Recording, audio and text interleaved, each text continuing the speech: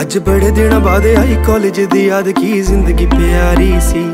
ਨਾ ਸੀ ਖੌਫ, ਕੋਈ ਨਾ ਫਿਕਰ ਨਾ ਫਕਾ ਇੱਕ ਵੱਖਰੀ ਖੁਮਾਰੀ ਸੀ। ਹੁੰਦੇ ਪਏ ਸੀ ਜਵਾਨ, ਇੱਕੋ ਗੱਲ ਤੇ ਧਿਆਨ, ਆਪਾਂ ਪਟਣੀ ਕਵਾਰੀ ਸੀ। ਉਹ ਕਿੰਨਾ ਮਜ਼ਾ ਸੀਗਾ ਗਾਉਂਦਾ ਜਦੋਂ ਇੱਕ ਕੁੜੀ ਉੱਤੇ ਸਾਡੀ ਫਸਦੀ ਕਰਾਰੀ ਸੀ। ਤੇ ਜਦ ਮਿਲਦਾ ਸੀ ਯਾਰ, ਪੁਰਾਣਾ ਉੱਚੀ ਉੱਚੀ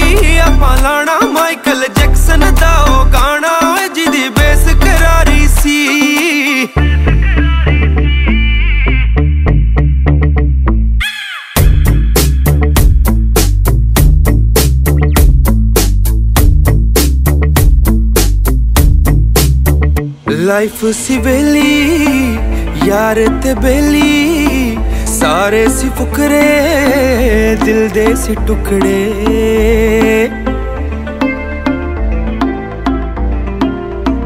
ਲਾਈਫ ਸੀ ਵੇਲੀ, ਯਾਰ ਤੇ ਬੇਲੀ, ਸਾਰੇ ਸੀ ਫੁਕਰੇ, ਦਿਲ ਦੇ ਸੀ ਟੁਕੜੇ।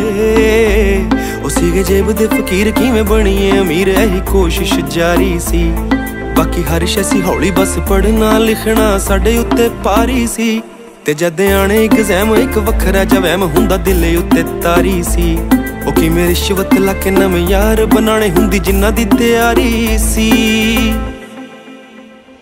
ਤੇ ਰੱਬ ਵੱਲੋਂ ਹੀ ਪਾਸ ਹੋ ਜਾਣਾ ਪੰਗੜਾ ਰੱਜ ਰੱਜ ਸਭ ਨੇ ਪਾਉਣਾ ਤੇ ਉੱਚੀ ਉੱਚੀ ਆਪਾਂ ਲਾ ਕੇ ਓਏ ਲੈਬਰ